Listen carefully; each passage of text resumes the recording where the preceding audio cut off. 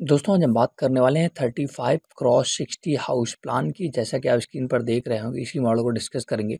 पैंतीस बाई साठ फीट में पूरा ये डिज़ाइन मैंने क्रिएट किया है और बहुत ही बेहतरीन सा मॉडल क्रिएट किया है। यहाँ पर जो मैंने ये फ्रंट एलिवेशन की बात करें पोर्स की बात करें तो आपको एक बहुत ही बेहतरीन सा मॉडल देखने को मिलता है। तो इसी मॉडल को डिस्कस करेंगे बारी बारी से। बने रहे फिर वीडियो में। लगातार मैं हूँ कौन झागड़ और आप देख रहे हैं अपना चैनल दोस्तों स्मॉल हाउस प्लान अगर आपने स्मॉल हाउस प्लान को सब्सक्राइब नहीं किया है तो ज़रूर कर लें। सबसे बेल आइकन ज़रूर प्रेस कर दें, जिससे आने वाले सभी वीडियो आप लगातार देख सकें।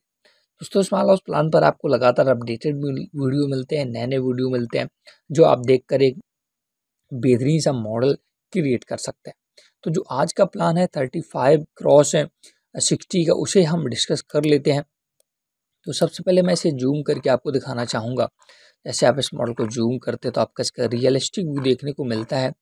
ये देखिएगा, जो आप फ्रंट एलिवेशन देख रहे हैं, ये ये जो आपकी बाउंड्री है, इसमें जो रेलिंग क्रिएट की है, ये जो सीमेंट के पोल आपको मिल जाएँगे मार्केट में बने, बनाए, उनका ही इंस्टॉलमेंट यहाँ पर मैंने किया इंस्टॉलेशन। वही इंस्टॉल करके पूरा ये रेलिंग आपकी क्रिएट की गई नॉर्मल सी। तो अब हम बात करते हैं इसके ग्राउंड फ्लोर की।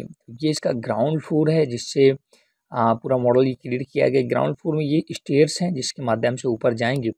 साइड में भी स्टेयर्स हैं, इस तरफ़ भी स्टेयर्स ये आपके पिलर्स हैं जो देख रहे होंगे। इसका दिया आपका डिज़ाइनिंग के पर्पज से ये राउंड कलर का क्रिएट किया गया है। इसके बाद आपको पोर्च मिलता है और आगे आप बढ़ते हैं। फ्रंट में आपको दो विंडो देखने को मिलते है। ये मॉडल दोस्तों आप दो भाइयों के लिए, अगर आप दो भाई हैं तो उनके लिए भी क्रिएट करवा सकते हैं। अगर हम बात करें फ्रंट एलिवेशन की तो ये देखिएगा आपका जो डोर का ये अंदर वाला जो डोर है, इसका जो डिज़ाइन है, वो भी आप देख सकते हैं।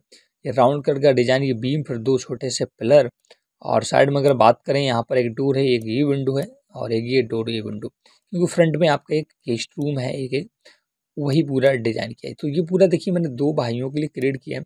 एक साइड में ये बेडरूम, एक ये। इसका जैसे आप एंट्री करते हैं, अंदर जाते हैं तो आपको एक बड़ा सा हॉल मिल जाता है।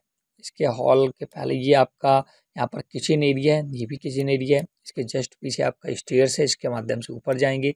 इधर भी स्टेयर्स इसके माध्यम से ऊपर। इसके बाद आप पीछे जब जाते हैं तो कॉर्नर पर दो बेडरूम मिलते हैं, सामने लेटिन बाथ मिल जाते हैं दो।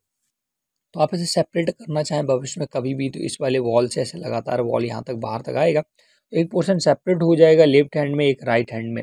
लेफ़्ट हैंड में भी दो बेडरूम होंगे, एक लेटिन एक लेट बाथ और एक किचन और स्टेयर। और राइट हैंड में भी दो बेडरूम एक लेट बाथ और किचन और स्टेयर्स आपके हो जाएँगे। बीच में आपका एक बड़ा सा हॉल भी मिल जाता है। तो ये पैंतीस बाई साठ फीट का ग्राउंड फ्लोर था। देखिएगा आप इसका डिज़ाइन और देख लें, नज़दीक से पिलर वगैरह का जो डिज़ाइन मैंने क्रिएट किया, बेहतरीन सा। पिलर का डिज़ाइन था, ये आपका बीम का डिज़ाइन है। अब हम बात करते हैं इसके फ़र्स्ट फ्लोर की। तो ये इसका दोस्तों फ़र्स्ट फ्लोर है और अच्छा पूरा पीछे वाला मॉडल पूरा सेम है। वही दोनों बेडरूम आपको देखने को मिलते हैं और किचन लेट एंड बाथ है यहाँ पर स्टेयर्स ये पे बेडरूम ये ये पूरा बड़ा सा हॉल बीच वाला। आगे का पोर्च एरिया था, वो आपका एक बालकनी के तौर पर इस्तेमाल करेंगे। मैंने यहाँ पर बाउंड्री भी क्रिएट की है। सॉरी बालकनी भी क्रिएट की है। यही देखिएगा, जो आपको मैंने बताया था स्टार्टिंग में, ये पिलर जो सीमेंटेड मार्केट में बने, बनाए, मिल जाते उसी का रेलिंग यहाँ पर मैंने क्रिएट किया है। तो ये एज अ बालकनी भी इस्तेमाल होगा। लास्ट फ्लोर की बात करें लास्ट फ्लोर पर कुछ भी डिज़ाइन नहीं किया है, ऊपर साढ़े तीन फीट का बाउंड्री और ये रेलिंग फ्रंट में, जो नीचे थी वही सेम टू सेम रेलिंग और ये दोनों गुमटी स्टेयर्स को ढक दिया है, जिससे बरसात में पानी वगैरह ना जाए। तो ये पैंतीस बाई पैंसाठ में ओवरऑल दो भाइयों के लिए मैंने मकान क्रिएट किया है। अगर आप भविष्य में कभी भी सेपरेट होना चाहें तो इक्वली सेपरेशन करने में आपको कोई भी प्रॉब्लम ना मिले पैंतीस बाई पैंतालीस के मॉडल सौ साठ के मॉडल में। तो मॉडल कैसा लगा वीडियो कैसा लगा, जानकारी कैसी लगी फ्रंट एलिवेशन कैसा लगा, ज़रूर बताएँ। अगर आपने तक स्मॉल प्लांट को सब्सक्राइब नहीं किया है, ज़रूर कर लें। और एक अनाउंसमेंट करना चाहते हैं, कोई भी घर का नक्शा बनवाना चाहते हैं तो आप हमारे व्हाट्सअप नंबर पर कांटेक्ट कर सकते हैं। नंबर डिस्क्रिप्शन में है और उस पर कांटेक्ट करें।